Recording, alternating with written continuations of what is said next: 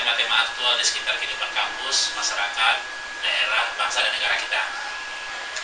Tema-tema itu dikemas dalam diskusi dengan mendatangkan narasumber yang berkompeten, baik dari dalam UNAN sendiri maupun dari luar kampus kita. Oke, baik balik kita ke tema kita hari ini. Eh, tema tadi eh, bersifat retoris ya eh, dan umum karena akhir-akhir ini kita melihat gejala yang melanda institusi pendidikan tinggi kita yang dijangkiti berbagai penyakit yang bersifat patologis seperti plagiat, rendahnya daya saing perguruan tinggi, kemudian publikasi internasional yang rendah dari kalangan dosen, kemudian juga perpustakaan yang tidak representatif, lalu tidak matchnya antara ilmu yang dipelajari di perguruan tinggi dengan kebutuhan real masyarakat, dan masih banyak yang lain.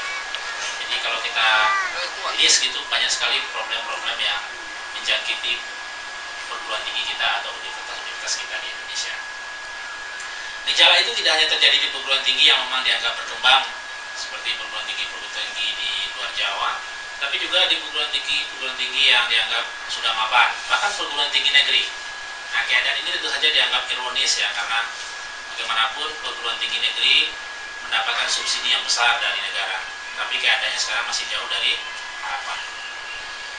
Uh, pemirsa, untuk selanjutnya kita memperhatikan bahwa problem ini tidak jauh-jauh dari sekitar kita. Kampus kita sendiri, Universitas Andalas, akhir-akhir ini juga disorot, disoroti oleh kalangan internalnya sendiri maupun oleh masyarakat masih eh, masih berjalan di tempat ya dalam hal-hal tertentu eh, misalnya baru-baru ini perguruan tinggi kita mendapatkan akreditasi A untuk institusi tapi sampai sejauh ini belum ada satupun jurnal yang dihasilkan oleh kampus kita ini yang terakreditasi bagaimanapun jurnal terakreditasi adalah suatu ukuran atau standar yang bisa dijadikan patokan untuk nilai suatu kualitas perguruan tinggi kita. Jadi itulah kira-kira problem yang terjadi di sekitar perguruan tinggi kita. Nah untuk diskusi selanjutnya saya mengundang eh, beberapa narasumber kita. Yang pertama di sebelah kiri saya ya Bapak Dr. Wan Nofri Samri. Selamat sore Pak Wan Nofri. Ya, selamat sore. Beliau adalah doktor sejarah dari jurusan sejarah Fakultas Ilmu Budaya Universitas Dallas. Uh, selama ini saya memperhatikan tulisan-tulisan beliau tidak hanya terkait dengan sejarah, tapi juga perkembangan perguruan tinggi di negara kita. Beliau beberapa kali menulis di Kompas juga surat kabar yang lain terkait dengan pendidikan tinggi di Indonesia. Selanjutnya narasumber kita adalah saudara Firtos Setiaka. Selamat sore Bu. Selamat sore. Beliau ini adalah dosen hubungan internasional di FISIP Universitas Andalas. Sebagai dosen muda, beliau ini dikenal sebagai tokoh dosen yang sangat progresif. Sering membina mahasiswa, tapi juga sering mengkritik, ya tidak peduli eh, di kampusnya sendiri tapi eh, kita nanti minta pikiran-pikiran beliau mengenai eh, kondisi perguruan tinggi kita saat ini. Dan terakhir, saudara Romi Zaman. Selamat sore, Bung Romi. Sore. Uh, budaya muda kita.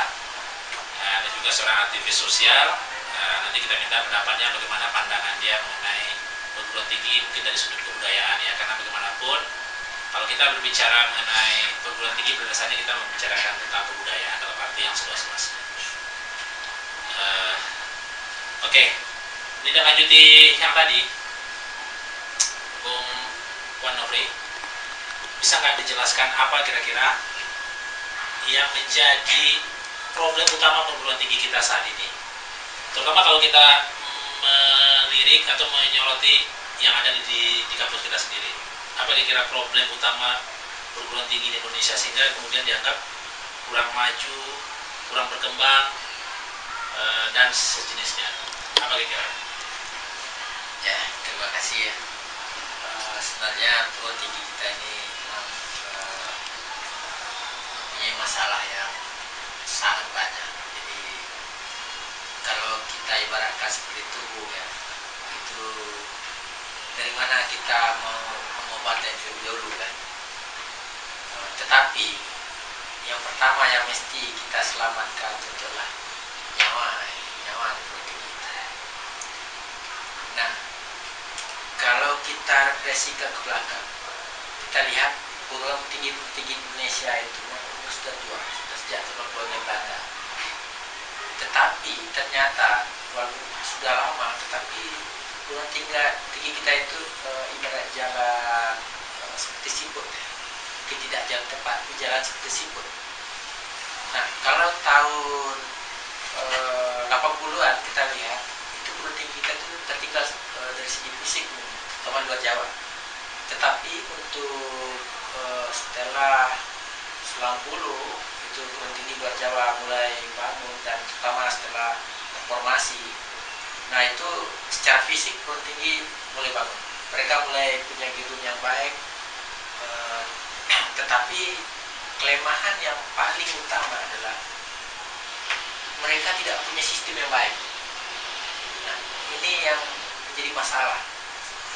Baik dari segi administrasi eh, kepegawaian pun dari segi administrasi kemahasiswaan. Nah itu adalah nyawa yang sangat penting bagi perguruan tinggi.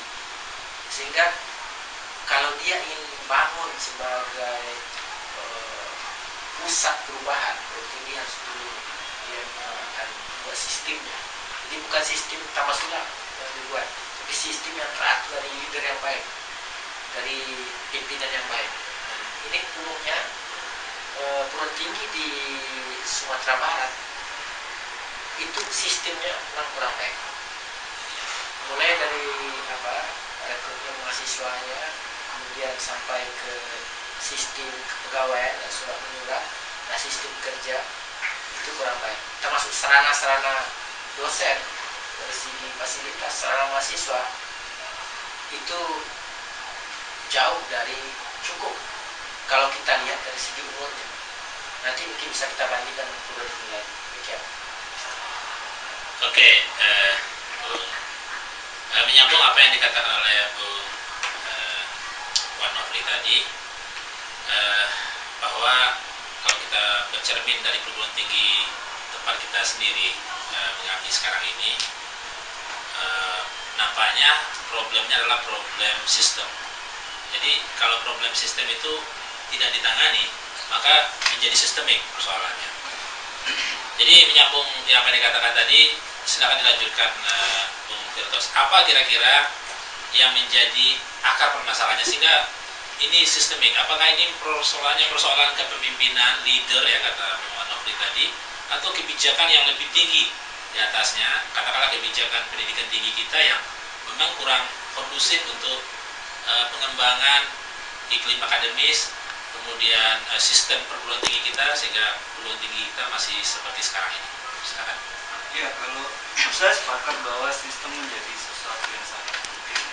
dalam membicarakan sistem dari berbagai levelnya juga. Sebenarnya tadi Bung Israel juga sudah memberi pancingan bahwa ketika kita bicara sistem maka ada level-level sistem yang mungkin harus kita lihat di kampus kampus termasuk di kampus Sunan ini juga secara nasional karena sampai hari ini juga nyatanya eh, otonomi kampus dalam hal pengelolaan termasuk bagaimana melahirkan sistem yang mungkin lebih kondusif dengan uh, masyarakat uh, di mana kampus itu berdiri juga belum optimal untuk di, diberikan gitu. Sehingga kita masih saya masih melihat bahwa ada ada hubungan yang memang signifikan mempengaruhi mengapa sistem yang terjadi di kampus-kampus termasuk di Universitas Andalas dipengaruhi oleh sistem yang lebih besar karena kampus ini masih di bawah manajemen yang semangatnya maunya otonom bahkan liberal tapi nyatanya sampai hari ini masih terpusat. Mau desentralisasi tetapi masih sentralistis.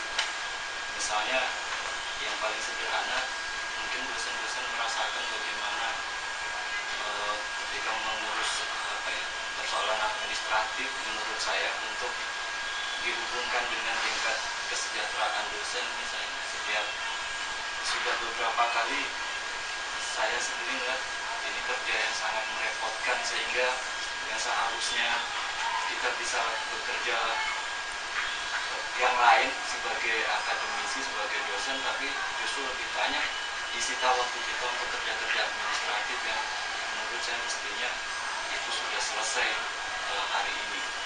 Nah, itu satu. Nah, yang kedua, ketika kita bicara sistem, maka kita juga sebenarnya kalau secara umum kampus ini berkaitan dengan uh, manusia-manusia yang di dalam kampus sendiri ada mahasiswa, ada dosen dan lain sebagainya termasuk kalau misalnya kita bicara bagaimana keberadaan kampus dengan bergabung ini sistem yang harus kita bangun juga mesti diperhatikan sistem seperti apa. Kalau concern saya tetap bahwa pendidikan dan segala hal yang berkaitan dengan itu. Poin pentingnya adalah mengemansipasi manusia siapa pun.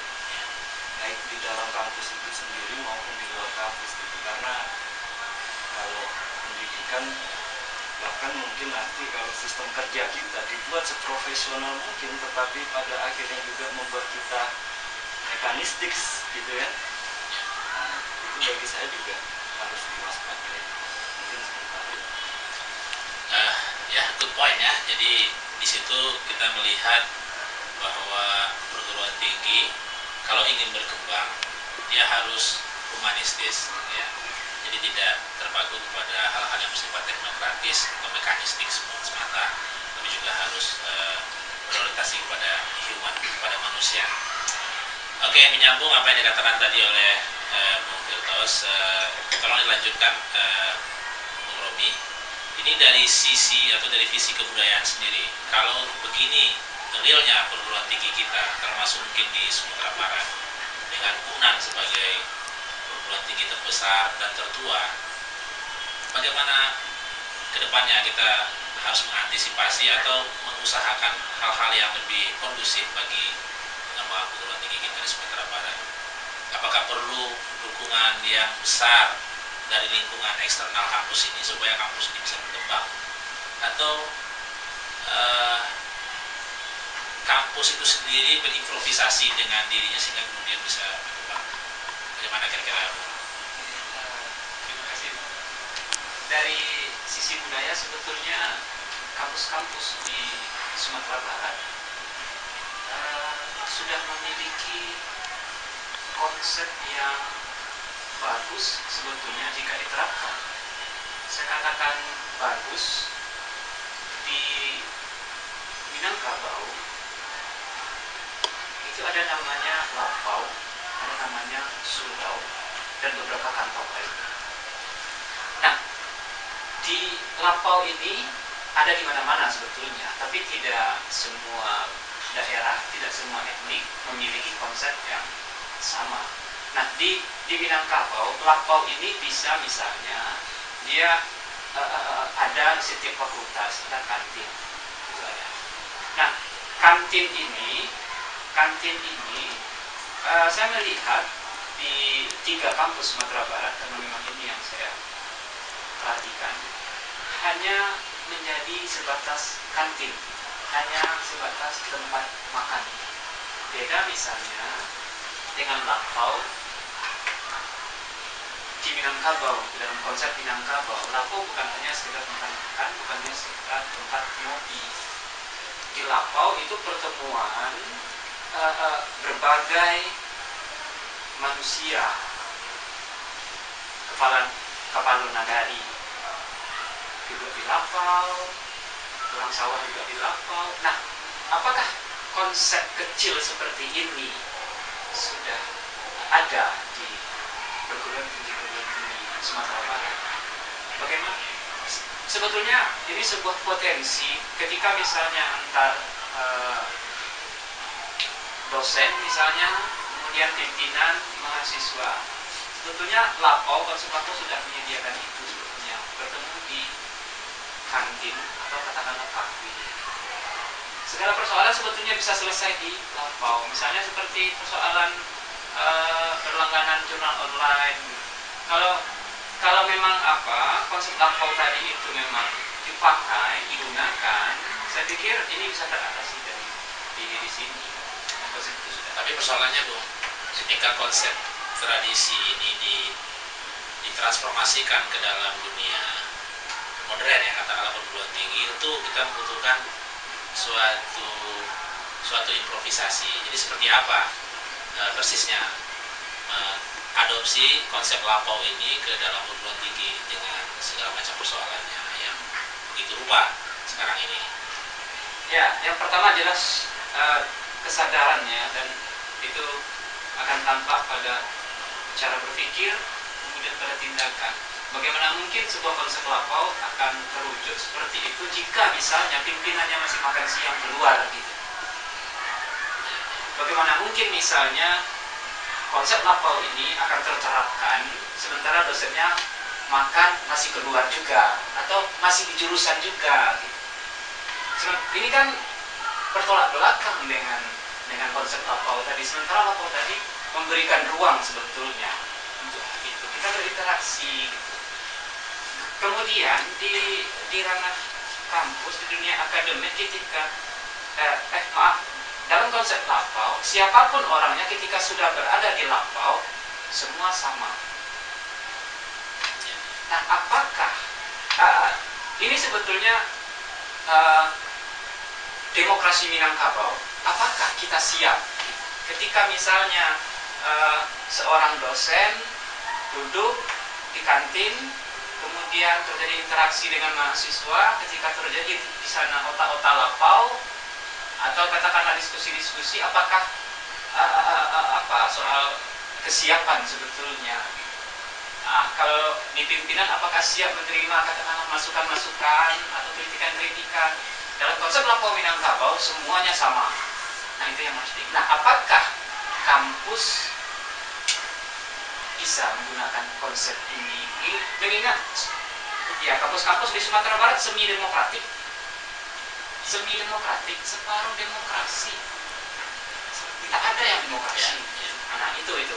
Saya pikir Ya, bagus sekali dan menarik sekali apa yang dikatakan oleh Bung eh, Robi Zarman eh, bagaimana beliau me- mengemukakan gagasan mengadopsi konsep lapau ke perguruan tinggi sebagai sarana atau wahana untuk eh, berdiskusi ya mendekatkan jarak antara pimpinan dengan yang dipimpin sehingga kemudian akan dicarikan solusi-solusi di situ. Nah, tapi ini mungkin akan bisa dielaborasi lebih jauh.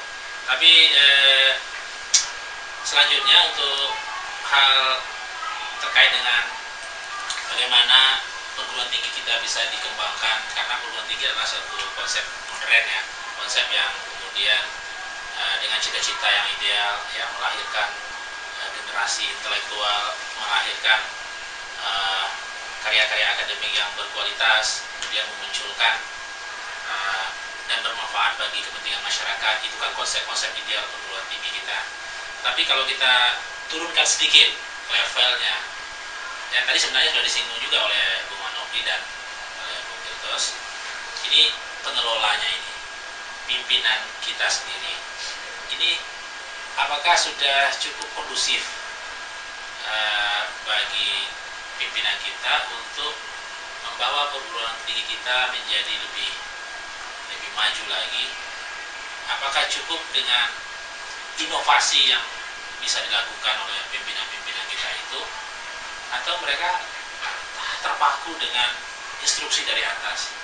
Sebab saya membaca sebuah tulisan ya dari eh, pakar manajemen yang cukup terkenal Renal Kasali eh, yang judulnya rektor-rektor administratif ya ini suatu judul yang sangat menarik dan menyentuh sekali bahwa ternyata banyak sekali pimpinan-pimpinan universitas kita itu tidak lebih dari rektor-rektor administratif.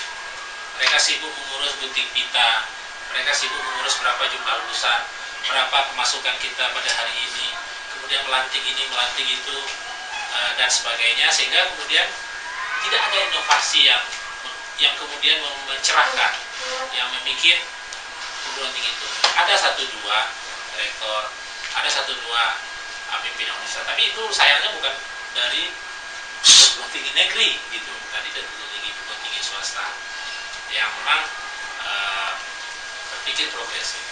Nah ini problemnya di mana ini? Apakah memang rektor-rektor kita itu pimpinan-pimpinan kita ya? Saya tidak mengatakan rektor itu terkendala saja ya, uh, tapi ini penilaian yang kecenderungan kecenderungan umum. Tinggi kita. Ini apa? Akar masalahnya Bang Ya, sebelum sebelum masuk ke situ kan, nah, inti perguruan tinggi itu sebenarnya kan ada apa itu ada pengajaran. Ya, kan freedom. terima perguruan tinggi eh, kemudian penelitian dan pengabdian. Sebenarnya yang kita capai kan tiga ini sebenarnya. Nah dari segi eh, pendidikan eh, bisa kita bertanya apakah kita sudah punya eh, sarana untuk eh, pendidikan yang baik pengajaran yang baik? Ya mulai dari gedung eh, sarana dosen sarana mahasiswa ya. Ya klaim kita adalah kita udah punya ruang kuliah untuk sementara oke ya. Kemudian tapi tidak seluruh tinggi Sumatera Barat juga yang punya ruang kuliah yang baik. Banyak perguruan tinggi swasta perguruan tingginya asal-asalan. Nah kemudian sarana dosen. Dosen yang ideal buat dosen dia punya ruang sendiri. Dia punya ruang sendiri yang layak dia punya tempat buku tempat komputer dan dia tempat istirahat di situ ya ini bukan kalau untuk perguruan tinggi modern ini bukan orang orang yang kita manusia orang dulu zaman dulu orang bisa jadi dosen bisa jadi dosen sarjana tanpa ruang kuliah atau apa itu dulu sekarang dunia modern. Dunia modern ini kita mesti maksimalkan dalam zaman darurat orang bisa apa saja. Itu untuk zaman perguruan tinggi modern. Dosen mesti uh, punya pikiran yang lebih baik. Dia punya mesti menulis mesti merenung dan punya tulisan. Nah kenapa tinggi kita uh, tidak punya dan kenapa dosen kita tidak menulis? Jangan salahkan dosennya dia tidak punya ruangan. Dia tidak punya sarana. Kenapa dosen kita uh, hari-hari kuliah hanya di kafe di kantin? Dia tidak punya pustaka. Dia tidak punya labor ini kan sangat penting untuk mahasiswa. Ini yang mesti diutama ini termasuk nyawa universitas. Ini jantung universitas ini yang mesti mereka bikin dulu. Bagaimana mereka penelitian kalau mereka tidak punya pustaka. Setiap kita e, mencari bahan-bahan kuliah kita suruh mahasiswa oh, su ini cari buku ini. Jangankan bahasa Inggris. Bahasa Indonesia saja e, pustaka tidak ada. Menyimpan koleksi itu kuliah wajib untuk buku wajib. Ya, jadi ini masalah. Ini masalah kita. Jadi menurut saya perlu tinggi. Sebelum perlu tinggi berdiri sarana ini mesti ada dulu. Baru diizinkan. Ya pustaka mesti ada. Jangan setelah 10 tahun sampai 50 tahun pustaka belum oke. Bukan gedungnya tapi juga gedungnya sistemnya dan bukunya.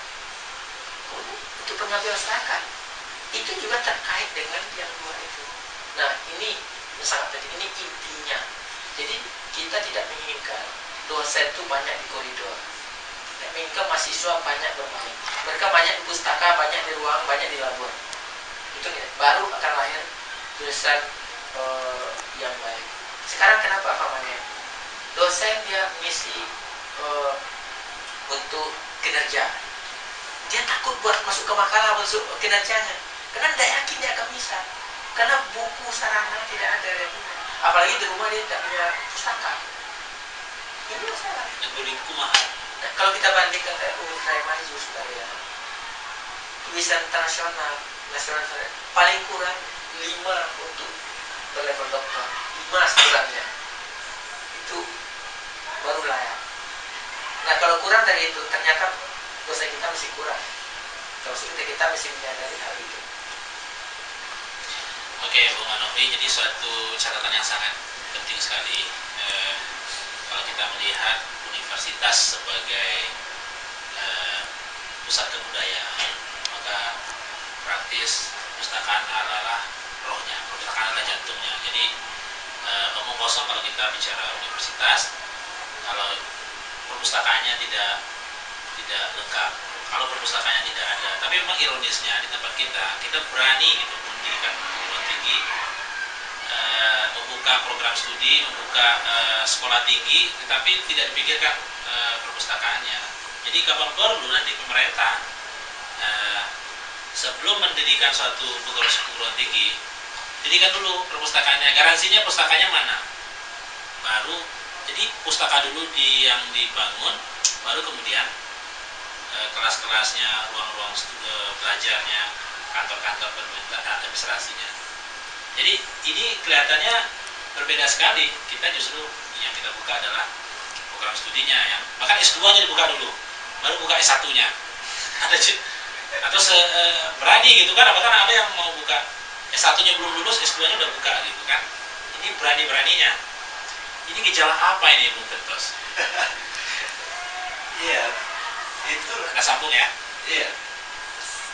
Mungkin yang ya tadi kan kita menempatkan modernitas sebagai sesuatu yang mungkin menjadi hal yang harus apa ya, kita penuhi kontennya, tetapi pada akhirnya kita juga harus mengakui bahwa kadang-kadang modernitas ini sudah mulai menimbulkan dampaknya. Dalam hal misalnya keberanian untuk secara serampangan membuka program studi jurusan atau bahkan mendirikan kampus tanpa memenuhi kriteria-kriteria yang seharusnya menjadi prasyarat tadi. Kalau saya melihat, ya karena sekarang pendidikan bukan lagi sebagai kebutuhan untuk apa ya, apa nambah ilmu untuk emansipasi manusia, bukan kepentingannya bukan itu lagi, tetapi sudah melampaui itu semua ha- hanya menjadi komoditas bahwa pendidikan hanya menjadi salah satu instrumen bagaimana keuntungan misalnya dan itu sudah jauh dari esensi pendidikan itu sendiri dan eh, apa namanya sehingga ketika kita mengawali diskusi kita tadi eh, harusnya selain ada sistem kemudian sebagai nyawa kemudian ada fisik gedung-gedung dan fasilitas yang memadai terus kemudian juga ada isinya. Tetapi ternyata kita juga sudah dihadapkan pada kondisi di mana eh, pendidikan diselenggarakan memang bukan lagi pada jalur tujuan dari pendidikan itu sendiri tapi pendidikan ternyata menjadi komoditas. Itu yang membuat orang tidak lagi bicara kualitas. Eh, sehingga jadinya membabi buta bahkan eh, kita kan sudah nggak asing ketika membicarakan pendidikan tinggi ujung-ujungnya adalah kebutuhan pasar. Dan pasar selalu dilihat dalam konteks ekonomi. Termasuk ketika kita merekrut mahasiswa kemudian katakanlah mengajar atau mendidik mahasiswa orientasi eh, yang kita arahkan ke mana mahasiswa kalau misalnya sampai titik akhir masa perkuliahan adalah kita sendiri selalu bilang akan diterima oleh pasar atau tidak seolah-olah kita sering lupa bahwa pasar yang kita bicarakan adalah pasar yang dikonstruksi sedemikian rupa bahkan melampaui kapasitas sebuah lembaga pendidikan tinggi untuk mengintervensinya. Nah di situlah ketika menurut saya menjadi penting perguruan tinggi sebagai apa namanya pusat kebudayaan itu memang harus terlibat termasuk dalam mengkonstruksi pasar yang selama ini kita bicarakan. Karena kalau tidak kita akan terus menerus mengulang sejarah pendidikan yang menurut saya mengenaskan ketika ternyata perguruan tinggi atau lembaga pendidikan tinggi pada akhirnya hanya mereproduksi atau apa ya, mereproduksi para pekerja bukan mereproduksi para pemikir yang akan memperbaiki negara dan bangsa kita. Nah, itu salah satu hal yang meresahkan menurut saya. Iya, terus eh, jadi kita melihat di sini bahwa karena pendidikan sudah diintervensi atau sudah dikooptasi oleh pasar sehingga pendidikan kemudian menjadi komoditas ya komunitas artinya sering berbicara kuantitas juga dibandingkan kualitas iya. pada akhirnya sehingga ini mendistorsi tujuan pendidikan itu sendiri. Ya menyambung apa yang dikatakan oleh ini yang terakhir saya ke Bung Romi ini untuk Sumatera Barat Bung Romi eh, Anda melihat kita kan melihat sekarang ini eh, di Sumatera Barat itu ada 32 ada UNP ada IAIN yang di bawah Departemen Agama itu. Lalu ada puluhan perguruan tinggi swasta. Kalau kita tambahkan lagi mereka tidak hanya membuka program S1, S2 tapi juga ada yang yang S3 nah ini kalau kita lihat dari ya dalam tanda petik ya pangsa pasarnya di Sumatera Barat masih terbuka. Eh, cukup cukup besar tapi tanpa memperhatikan memperhatikan kualitas itu juga. Saya melihatnya seperti itu. Eh, sehingga kemudian eh, terjadi apa yang disebut juga dengan inflasi ya kan? Dan sekarang ini banyak program-program studi yang me- membuka ya atau me- me- merekrut mahasiswa-mahasiswa baru tanpa memperhatikan eh, kualitasnya juga ya karena dia mengejar kuantitas ya supaya eh, yang diharapkan SPP-nya sebab begini kalau SPP masukan dari SPP ini besar efeknya bagi bagi institusi juga besar gitu. Tapi kalau eh, pemasukan dari SPP atau dari mahasiswa ini kecil eh, efek finansialnya bagi institusi juga kecil. Nah ini kan ya logikanya logika pasar lagi gitu sejauh mana anda melihat di Sumatera Barat eh, gejala-gejala semacam ini Ya, terima kasih. Eh, saya melihat bahwa eh, ada satu yang yang saya sebetulnya Jadi, pendidikan itu mahal, wajar, wajar. Eh, saya melihat bahwa eh, apa yang dikatakan oleh eh, Mas P tadi menarik sebetulnya bahwa kita jangan-jangan tidak lagi eh, melahirkan atau mencetak pemikir tapi justru bekerja. Saya melihat bahwa meskipun di Sumatera Barat ada tiga universitas besar, tapi justru eh, konsep-konsep budaya itu betul-betul ditinggalkan. Kalau pada masa lampau itu ada konsep merantau misalnya, merantau, merantau yang saya maksud itu bagaimana mereka eh, menjalin komunikasi di rantau kemudian dengan kampung. Itu meninjau misalnya bagaimana eh, para perantau yang dari Maninjau untuk eh, mengingatkan mereka itu dari kampung bisa. Misalnya tidak boleh menceraikan istri di rantau, itu dimuat di Al-Mizan, kemudian dikirim, disebar hanya untuk edisi itu gitu, disebar ke Kutaraja. Itu satu, ada komunikasi. Nah hari ini sebetulnya kalau memang untuk mencetak para pemikir kita bisa menerapkan itu. Eh, keterbatasan jantung atau perpustakaan di sebuah universitas itu bukan lagi kendala sebetulnya. Sekarang itu teknologi sudah maju, buku-buku tersedia, di Google itu semuanya tersedia. Itu pertama. Kalau kendalanya tidak tersedia di Google, hubungi penulisnya dikasih kok PDF-nya. Tapi persoalannya kita kan tidak membangun jaringan peneliti itu satu. Kita tidak pernah membangun. Bagaimana misalnya kita eh, eh, eh, eh, malah memudahkan malah lewat eh, email misalnya. Sekarang yang yang agak sulit itu meski eh, di perpustakaan misalnya tidak ada eh, paco-paco kota Padang, Columbus misalnya. Ya, apa itu susah-susah? Kontak Columbus, nanti dikirimnya PDF-nya tuh. Dikirimnya tuh selesai. Nah, kan ini yang saya maksud tadi konsep rantau tadi.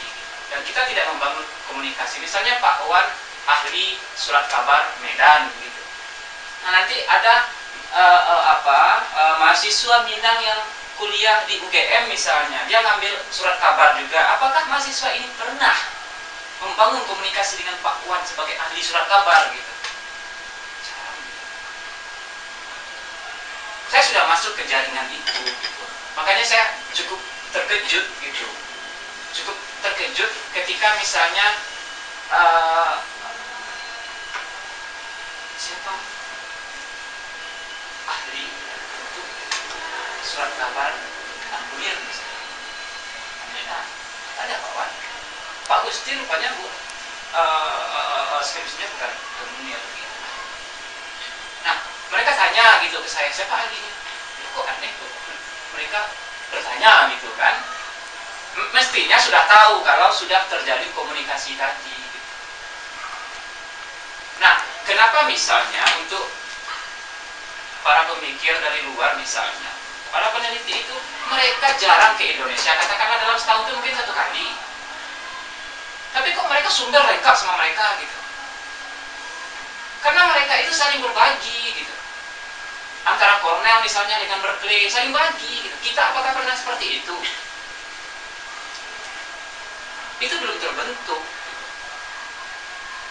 nah saya pikir konsep rantau konsep merantau ini kalau diterapkan saya pikir Minangkabau sudah menawarkan konsep-konsep secara budaya ya. Cuma persoalannya kita selalu melihat mencari atau ya terlalu apa ya terlalu melihat atau terlalu menaikkan wajah modernitas gitu. Ya, boleh saya tambahkan ya silakan Robi ini sebenarnya. Kalau saya memang berapa uh, bukan berbeda sebenarnya, secara memahaminya berbeda. Uh, saya pernah hidup apa kuliah di Yunan, pernah kuliah di Indonesia, pernah Indonesia, dan saya merasakan di universitas terbaik Indonesia, dan saya merasakan Indonesia. Memang itu berbeda rasanya. Berbeda dalam arti kata uh, lain. Sekiranya kita studi di tempat yang uh, sarana yang baik ya yang baik. Mulai dari uh, sarana mahasiswa sampai ke sarana dosen dan dan lainnya peristiwa kampus ya termasuk kesehatan. Karena kalau di kita banyak Malaysia itu terlalu jauh saya. Bukan jauh sebenarnya bukan tak sebanding. Justru kita lebih tua dari dia. Sebanding sangat sebanding sebenarnya. Sangat pasti. Tetapi kita jauh tertinggal kalau menurut saya seperti universitas di Sumatera Barat mungkin 30-50 tahun lagi baru ada sama Malaysia itu kalau dilaksanakan. Kalau itu bukan ini omong kosong serius mereka langgan jurnal ribuan setiap tahun. Kita apa? Betul kata Romi kita terhubung dengan internet ya terhubung. Pertama masalah kita internet kita kapasitas sedikit satu. Yang kedua orang saya lihat universitas bagus itu. Cornell maksudnya kenapa dia punya banyak sumber? Pertama dia punya dana banyak dia punya banyak dana. Yang kedua pustaka mereka seperti di Cornell mereka punya koleksi koran-koran Indonesia. Itu itu mesti punya. Nah, pustaka mesti dibangun. Tidak bisa mengandalkan internet bisa. Karena saya udah baru saya selalu praktek setiap buku yang saya baca kalau saya perlu itu selalu saya telusuri dari internet saya pustaka dan paling bingung saya kalau dalam buku-buku tertentu ada di pustaka kita. Memang tidak ada kalau mungkin terbalik ya kalau saya telusuri uh, lihat di universitas yang bagus itu itu 90% ketemu bukunya kalau di uh, universitas kita mungkin satu persen mungkin kalau ada ketemu. Nah ini dilema. Itu berbahaya untuk mahasiswa. Itu berbahaya untuk mahasiswa. Mahasiswa setiap kita kasih tugas itu mengeluh. Kita pun kadang kasihan stres mahasiswa kan. Mau apa yang mau kita kasih? Nah ini masalah besar. ya. Jadi menarik sekali apa yang dikatakan oleh uh, uh, terkait dengan realitas perguruan tinggi kita hari ini uh, untuk membahas lebih lanjut uh, diskusi kita untuk mengelaborasi apa yang dikatakan tadi oleh Bung Romi uh, mungkin kita terlebih dahulu break sejenak uh, pemirsa uh, kita uh, istirahat sejenak. Uh, kita sambung pada uh, beberapa menit lagi. Uh, pemirsa, kita kembali melanjutkan diskusi kita mengenai arah perguruan tinggi kita mau ke mana. Uh, kita masuk sesi terakhir. Uh, kita minta closing statement dari uh, narasumber kita yang hadir di studio saat ini. Yang pertama, saya persilakan dulu ke Bung Firto Setiaka. Apa kira-kira yang perlu diperbaiki sehingga perguruan tinggi kita uh, bisa ya setidak-tidaknya bergerak maju lah, jangan walaupun mungkin tidak bisa memaju kemajuan perguruan tinggi di negara-negara lain, termasuk di negara tetangga kita, tapi setidaknya bergerak lebih maju lagi dibandingkan yang sekarang. Apa kira-kira yang bisa dikerjakan atau dilakukan oleh pemerintah atau universitas sendiri? Ya, saya pikir ketika hari ini kita bisa mengenali apa persoalan-persoalan yang kita eh, alami, kemudian kita juga mampu untuk memikirkan apa yang seharusnya terjadi, itu bagi saya sebuah hal yang uh, sangat positif. Artinya ada kontradiksi ada hal apa ya ada kenyataan yang begitu mengkhawatirkan bagi kita tetapi kita juga tahu mestinya mestinya seperti apa. Bagi saya itu sebuah hal yang sudah bagus. Kemudian dari situ kita juga bisa merefleksikan bahwa hal-hal yang apa pun kita bisa menilainya secara kuantitatif itu bagus, tetapi juga mestinya bisa segera ditransformasi ke hal-hal yang kualitatif. Itu saya pikir uh, akan jauh lebih bagus.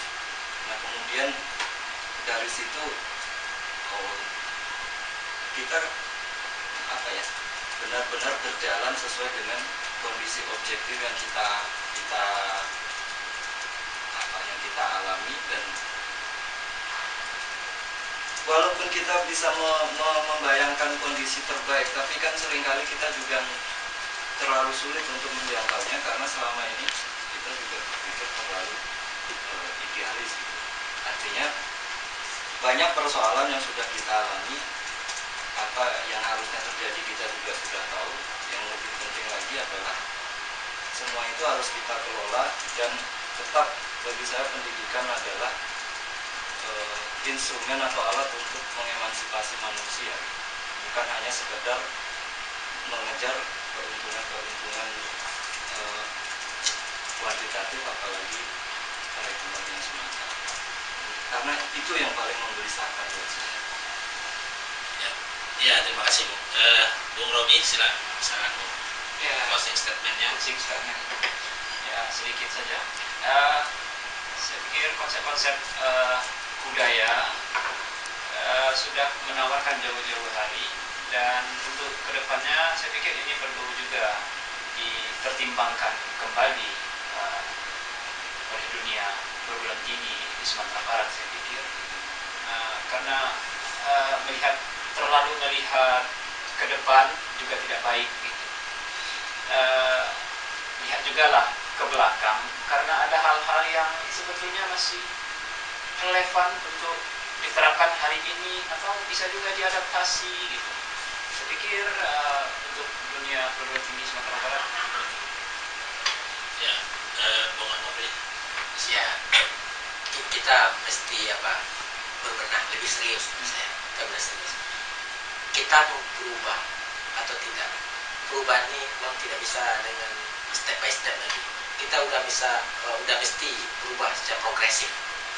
Udah progresif ya progresif berarti kata agak cepat dan memang uh, tidak lebih dengan step by step. Karena dengan dari step by step yang sering kita gunakan itu lambat perubahannya dan itu tidak jelas. Kita progresif kita mesti bangun secara cepat dan besar-besaran. Dan ini kalau kita maju karena kita sudah tertinggal dari segala hal. Kita tertinggal campur di kita aja tertinggal. Apalagi yang lain nah ini jadi yang terakhir saya katakan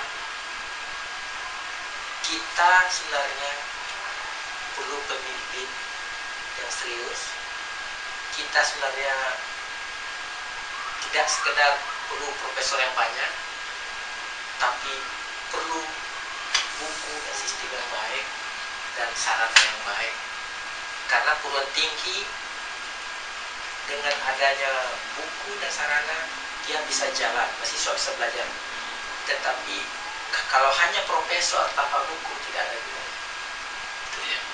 Suatu good point ya. Jadi pemirsa sekalian, kalau kita rangkum apa yang tadi dikemukakan oleh bapak-bapak yang ada di sini, eh, dapatlah kita katakan bahwa perguruan tinggi kita kalau ingin maju ke depan, memang harus serius berbenah ke dalam maupun eh, secara sistem.